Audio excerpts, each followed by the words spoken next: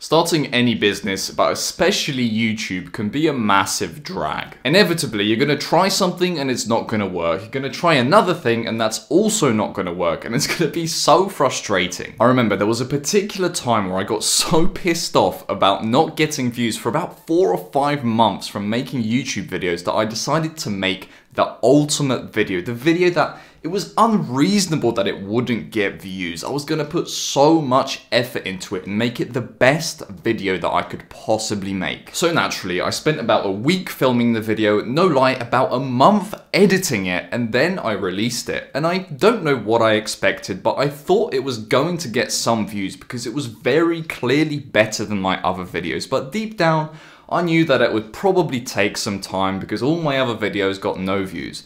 So I released it and overnight I got about 10 views. And that was only about 2 views more than the videos I spent only a couple days on in the past, so that really pissed me off. And this wasn't the first time this happened. Every time I made a video, I thought that it was going to be my big break and that I would wake up to tons of views, but that was never the case. And every single time I lost so much motivation. Because of this, I almost quit every single time I released a video. That's how bad it got. But thankfully, my why, the reason I was doing all of it was really strong, so I kept going. When you start YouTube, you know what to expect because everyone says that your first 50 to 100 videos are going to suck and you're going to get no views. Everyone knows this, but still everyone starts their YouTube channel with some small expectation that maybe they'll be different, maybe that it won't happen to them, but every single time they end up disappointed. Motivation may as well be equal to importance because every time you lose motivation, you attributed importance to something. You thought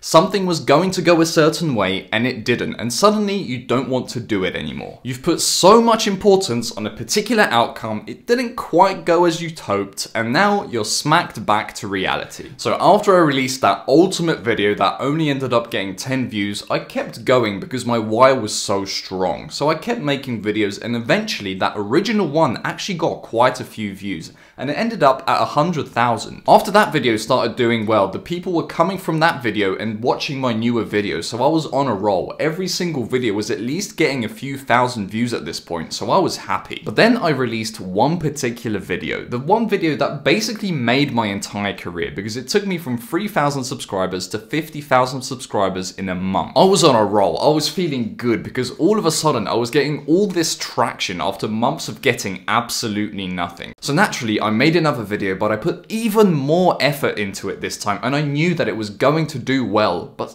then it didn't. It absolutely flopped, and that killed me inside. All of a sudden, I was crushed. I felt like my channel was dead, and I basically lost all of my motivation overnight. Notice how, before you noticed the thing that killed your motivation, you were perfectly fine carrying on and doing the tasks leading you to your goals. But then you noticed that thing and you gave it your mental energy and you let it make you feel negative. You would have been perfectly fine making that next video if you just gave the view count no energy, like it wasn't really that important to you. But because you gave the views importance, because you gave it energy, it caused you to lose motivation. That's what happened to me. Notice how before you noticed the thing that killed your motivation, you would have otherwise been perfectly fine to carry on. For me, that was views. I gave my views so much importance, and when my views were going well, I could carry on as normal, but when my views went down, I literally didn't want to make videos anymore. The best thing for me to do would have just been to stop caring about whether the video gets a million views or 10 views. I should have just enjoyed the process of making the videos because I did, but instead I gave so much energy to the views that it really messed up my mental state. After that video flopped, I would have been perfectly fine making the next video if I didn't give the views any energy, and who knows, maybe that next video would have done well. But because I gave it energy, it made me lose motivation and the next video wasn't as good as the last one, and because of that, I kept getting no views. Remember why you started doing what you're doing in the first place. How fired up you were, how excited you were to get started, You didn't think for a second that there wouldn't be moments where you weren't motivated, did you? You knew from the beginning that it was going to be difficult, and at the start, you were actually excited for all the setbacks to come. The setbacks are what make the thing worth it and give the thing value, that the thing you want to achieve in the first place. You're gonna remember all these times where you almost quit, but you didn't. Remember, you and me are running the same race. We're running the same race that the rest of the population is running, but the difference between you and I is that we're so much more driven than them. And we know that every time we get a setback where you really want to quit, that half of that, the people in that race just quit. Every time you get to one of these moments, you're one step closer to achieving the goal. And it's moments like this, the setbacks that make you lose all your motivation and question everything, but you carry on anyway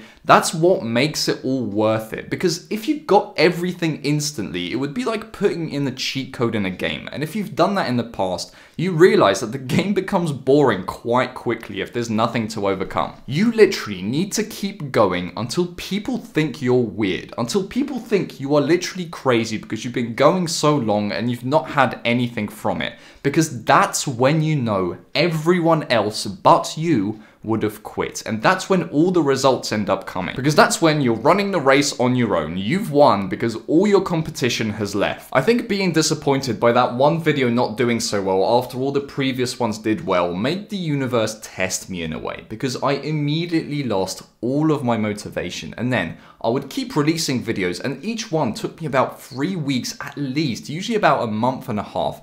I would keep releasing video after video after video, and each one of those videos got nowhere near the amount of views I used to get. Each time I released a new one, I thought it was going to be amazing. I was putting so much thought energy into thinking about how many views the video was going to get, and naturally, it just kept flopping and getting no views. But then the test came to an end, because there was a certain point where I just stopped caring, and I just carried on releasing videos anyway, regardless of whether someone was gonna see them or not. And that was was when my channel started picking up again. So the key is this, to not lose motivation anymore, stop giving things so much importance.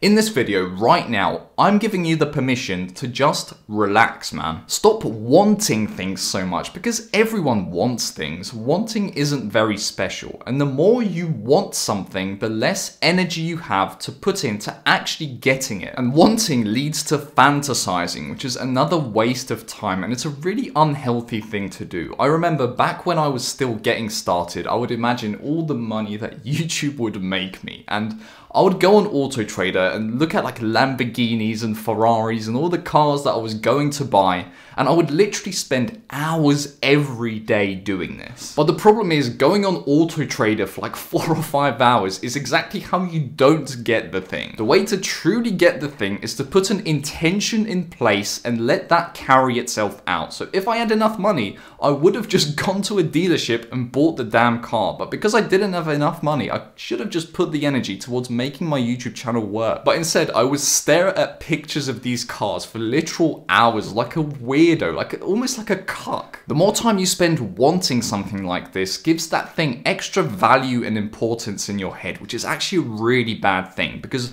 not only are you wasting hours of your day fantasizing about it, it also creates subtle differences in how you act. So if you really want to be a popular YouTuber and you're putting all your energy into that, instead of just the daily actions and getting better, you're gonna naturally feel more nervous in videos. And that's gonna show and actually impact the video negatively. All wanting is, is a waste of energy. You need to get this into your head. Wanting is a waste of energy and it causes you to lose motivation when things don't go your way. And the funny thing is, the way the universe works, you're actually going to lose motivation even if you do get what you want. Because the universe has a funny way of giving us exactly what we've asked for, but it's never quite how we expected it. The goal of my first YouTube channel was to free myself of a 9 to 5 job whilst being able to also do something fun. So when that first ever video blew up, like absolutely blew up, got a million views, I actually got quite a nice community from that. But I wasn't initially grateful for that community because it was centered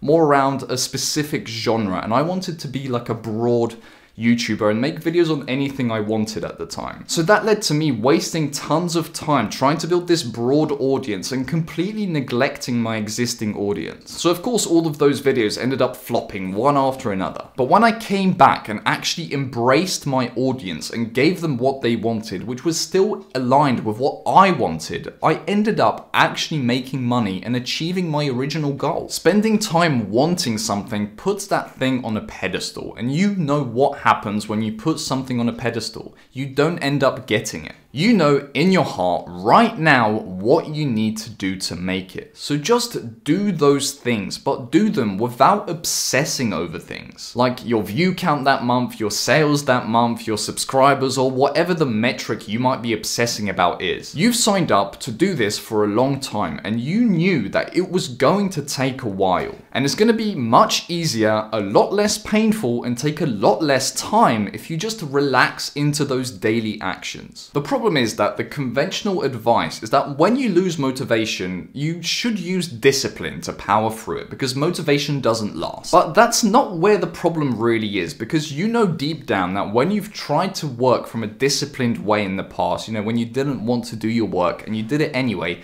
the output of that work was much worse. The truth is, motivation, discipline, and all of that is actually bullshit. You need to operate beyond that. You need to reach the next level. Instead of relying on discipline, motivation, and all of the things that go up and down, make things a constant in your life. I go to the gym, no matter how I feel, and when it comes to the time to go, I don't even think about whether I want to go or not. Gym is just something I do, and after the gym session, I don't even bother with how the session went, as long as in that session I know that I tried my best and I tried to lift more than last time. It never takes me any discipline to go to the gym. When it's time to go, my body just packs my bags, lifts the weights, and comes back home. And that's because the gym is just something I do. It's just a part of my life. And that's what you need to do with whatever you're trying to achieve. Just make it part of your life. And then when you're feeling a little bit crap about doing it that day, or you're feeling particularly good, none of that is going to phase you because you know that no matter how you feel, you're still going to do it. I'm lazy, so if anything needs me to use discipline, I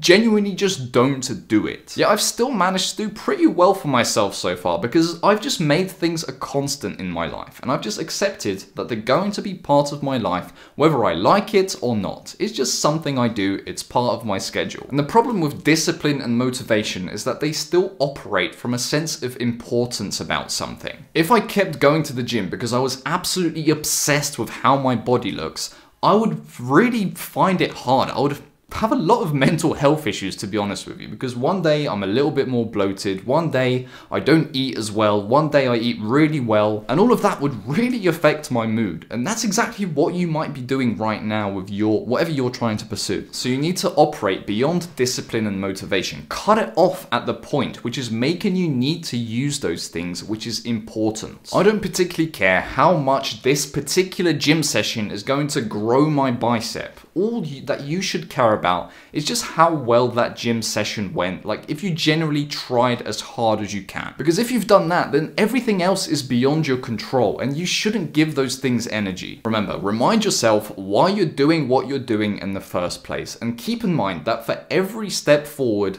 there's going to be 10 setbacks. It's always how it is. And if you let every one of those setbacks get you down, you might quit before you even take your first step forward. It's cringe, but you just have to trust the process. Every time there's a setback, be happy because you just got closer to your goal. If you watch a film or read a book, there's always a hero in that film or book, and that hero has to suffer setbacks. The setbacks are the story that you're reading, and without those, there would be nothing. Without the setbacks, there'd be no story worth telling. How do you think I got all the content for these videos? I suffered tons of setbacks on my journey and now I'm telling you about them. If you're new here, welcome. I'm Braian and this isn't a YouTube channel. We're a movement of people who are sick of living an ordinary life. We realize that most of the population is following this set path that we don't want to follow because we've realized that most of the people following it are miserable. We don't want to live those lives of quiet quiet desperation we're not quite happy with our life, but we carry on anyway because now you've got kids, a mortgage, and you can't escape. We recognize that there's another side to it all. You don't have to be this quiet, desperate person in the 9 to 5 office, acting happy just like everyone else, even though you know that most of the people in that situation aren't really that happy. Most of them have just accepted it, to be honest. The other side of that life is freedom. It's building your own online business, doing whatever the